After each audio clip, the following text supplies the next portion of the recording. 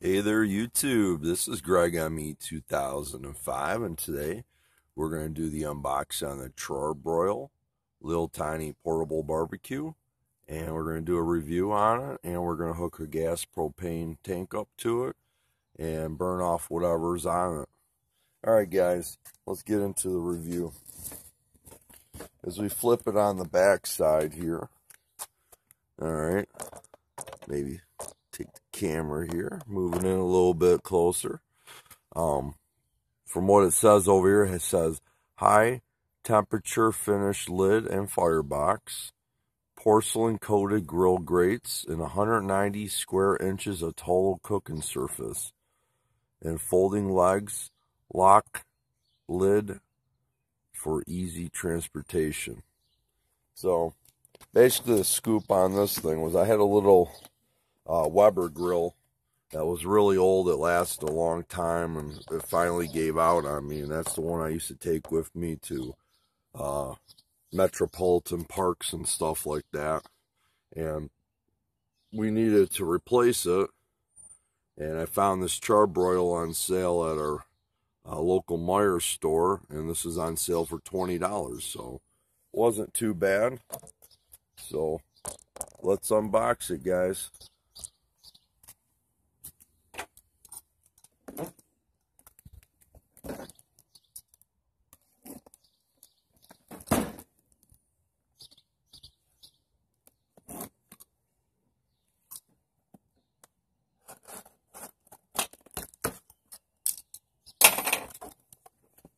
All right, remove all the parts. Oh, that was simple. All came out in one. Let's make sure I got everything on camera here, guys. There we go. Looks like your porcelain grate here. Instruction manual, pretty thick amount. You know, this, honestly, it's decent quality, but I don't know, we'll only, we can, we'll tell how it holds up later on. I give this thing a couple of years. That'll rust out. There's your uh, flame thing. There's your regulator, propane regulator.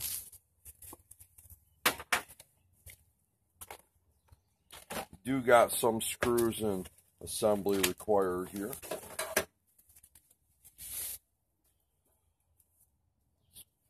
Probably does something with the flame, I imagine. And then you got your handles, guys.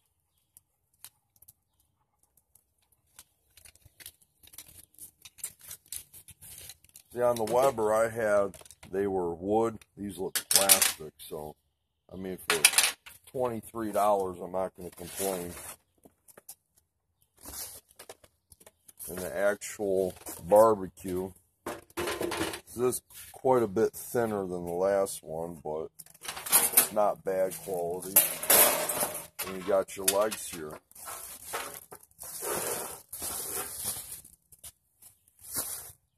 Alright guys, I'm going to put all this junk back in the box and we will get assembling this. Alright YouTube, uh, it's pretty simple. You're going to need just a Phillips screwdriver. I got a Husky made in the USA right here. And the first step in the instructions is basically we're going to take the heat shield and then that flame, that burner, and we're just going to install it on the bottom of this grill. Move over there. There we go. So we can get the camera angled in there. There we go, guys. You guys can see that.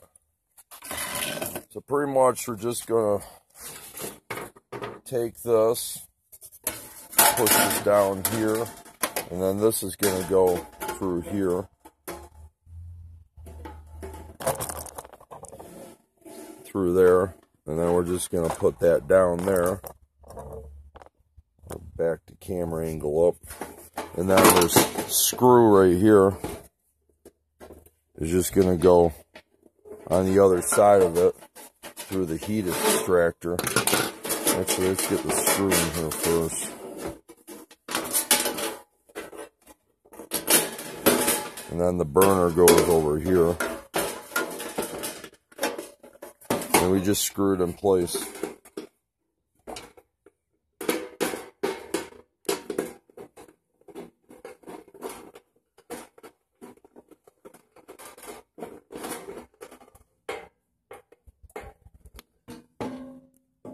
Kind of like that.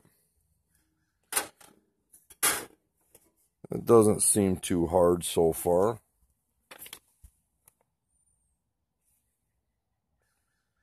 Alright, next step is we're just going to put the legs on. Let's move the camera back, guys.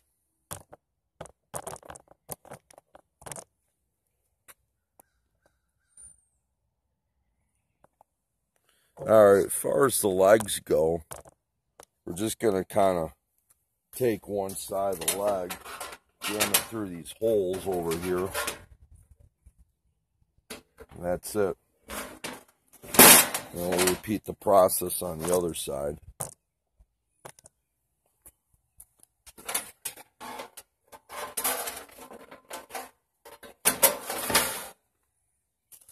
That's it First step number three, because that was step number two, looks like we're going to be putting the heat distributor plate and then the handles. Heat distributor plate and then the handles on. So let me get the hardware and stuff set for that and we'll resume footage. Alright YouTube, I'm back. Basically, we're just taking the handle, okay? I did the one, I'm going to do the other. You're just taking a, and then you're going to take this uh, screw here, then you're going to take a fiber cloth uh, washer that they give you in the kit, and you just put it through here. It's quite simple. All right, make sure I got it lined up right. I don't even have it lined up right.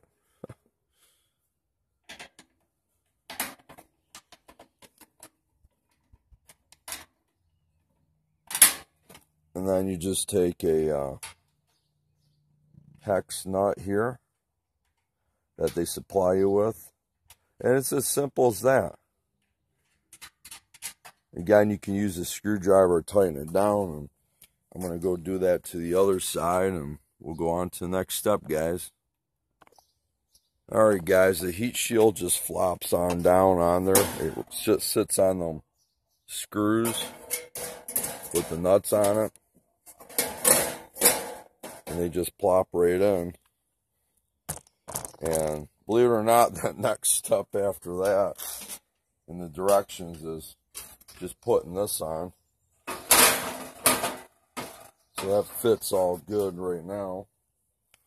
And then we're going to uh, get the handles on the actual lid. And I will take a look at that and be right back, guys. Alright YouTube, this is quite simple.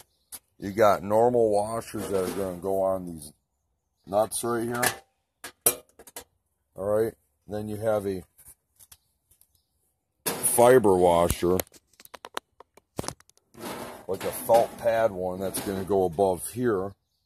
And then you have the uh, handle that's going to go in like this. Make sure you guys can see this on camera. And then we're just going to repeat the process on the other side.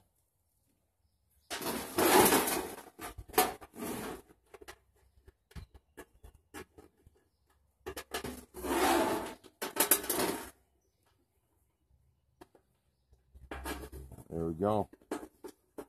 Very simple. Screwdriver. I wouldn't over tighten that because the handle is plastic. You don't want to crack the plastic on this handle. I would just kind of go one torque and a turn, and that's it. Next step we have is on the side over here, they got like, like, like a side plate or something that goes in here that's supposed to catch when these fold up. So I'm going to take a look at the hardware and come back, guys, here. All right, guys, I just went ahead and installed these. They're like this like metal plate thing here, and you put the screw and the nut through here, and you're good to go. And when you put that on there, when that folds up, I don't even know why they that's even required on there. Something to do with folding up, guess not. I have no idea why it's even like that, why they even did that. There's got to be a reason for it, but I don't know. Next step in the directions, let's see what we got. We're to put the uh, regulator on there next. Uh, this looks pretty easy. Gonna rotate and twist on here, and that's it. See if we can do this on camera here.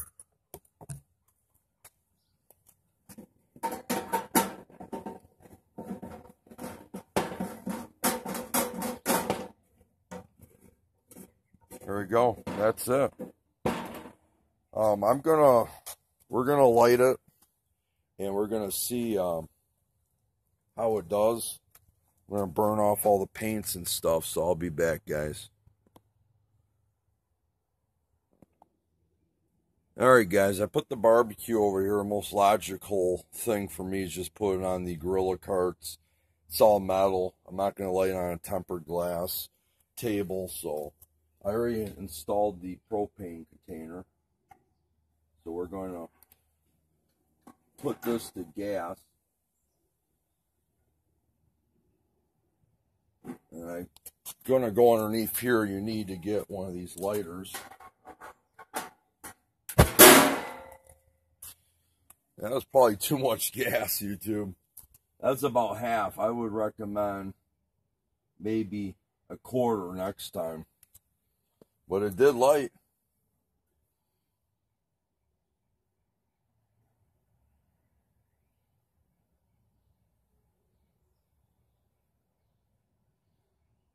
Pretty sure she lit. If not, we'll do it again.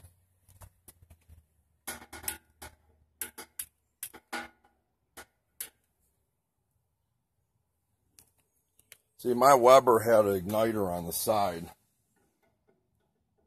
I didn't look over this one very well. I would have bought one that had an igniter.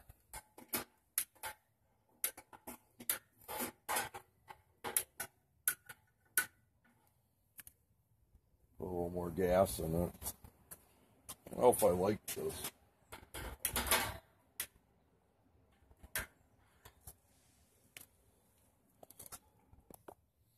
All right, YouTube, that puppy's lit.